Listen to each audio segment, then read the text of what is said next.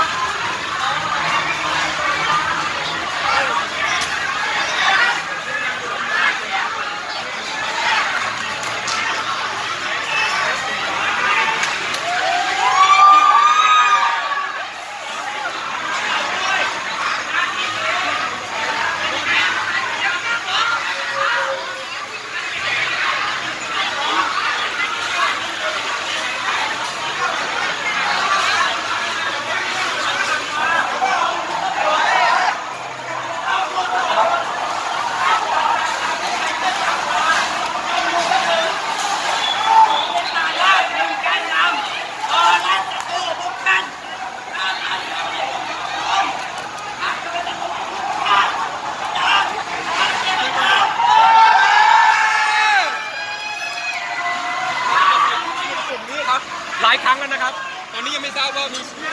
บาดเจ็บบ้างแล้วหรือยังครับ นี่คือการสลายการชุมนุมนี่คืการชุมนุมคนกระหยันที่สังเกตว่าการต่อต้อาวุธร้อน